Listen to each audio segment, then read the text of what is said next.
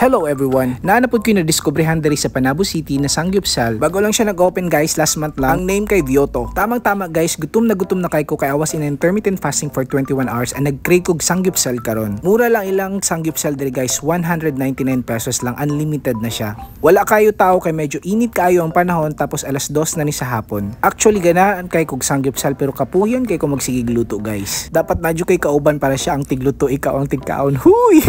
Actually ang ganahan ako diri guys kay na-amaze ko kay daghan kay silag side dishes na wala pa na ako na-try. Tapos lamig pud kay ilang kimchi. Nakaupat day migbalik-balik og pa-refill no. Na sila pork, chicken, hot dogs. Na late manggugugabot akong friend ang nag-order ani so siya na nakabalo kung unsa niya mong gi-order basta ako ni kaon lang ko guys. Kay gutom na jud kaayo ko.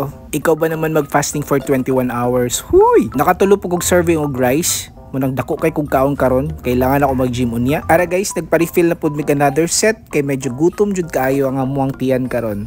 Pero okay lang guys kaya na mo ni ubuson tanan awa dagan kay sila side dishes di ba? Napa sila saging ug unsa pa ni uban di ari. Napon sila cheese na pangpalami sa sanggipsal so sulit na kay sa hagang 199 kung na kay 200 pesos pwede na ka makakaon di ari. Busog na kay mong tiyan pagkahuman. Wala ko kabalo kung daghan na bag tao diri paggabi na pero pag ingaro orasa wala kayo tao guys. Mas gwapon ta kung na sila sojo para mag chill chill mo pagkahuman. Busog na kayo mi guys. Sumurag tama na ni. And I see you guys for the next vlog. Bye bye